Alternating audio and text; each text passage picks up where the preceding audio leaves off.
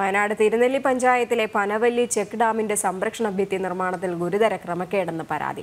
നിർമ്മാണത്തിന് എം സാൻഡിനു പകരം മണ്ണ് ഉപയോഗിക്കാൻ ശ്രമിച്ചു എന്നാണ് നാട്ടുകാരുടെ പരാതി. സംഭവത്തെ തുടർന്ന് നാട്ടുകാർ നിർമ്മാണ പ്രവർത്തികൾ തടഞ്ഞു.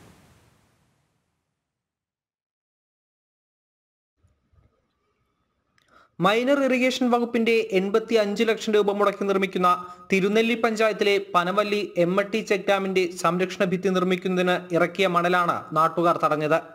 എംസാൻഡ് എന്ന വ്യാജേന മണ്ണു കലർന്ന മണൽ ട്രാക്ടറിൽ കൊണ്ടുവന്ന് കൊണ്ടുവന്നിറക്കുകയും സംശയം തോന്നിയ നാട്ടുകാർ തടയുകയുമായിരുന്നു. നമ്മൾ ഈ ആറാം വാർഡും ഏഴാം വാർഡിന്റെയും നടക്കൂടെ പോകുന്ന ഈ പുഴയിൽ ചെക്ക് ഡാം ഇവിടെ നിർമ്മിച്ചിട്ടുണ്ട്.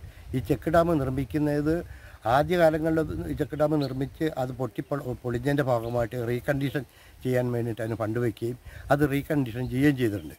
അത് റീകണ്ടീഷൻ ചെയ്തിരിക്കുന്നത് ഇവിടുത്തെ ചെളിയും ഉൾപ്പെടുന്ന മണൽ പുഴയിലെ മണൽ തന്നെ ചെളിയും ഉൾപ്പെടുന്ന പുഴിമണൽ എടുത്തുകൊണ്ടാണ് കെട്ടിയിരിക്കുന്നത്.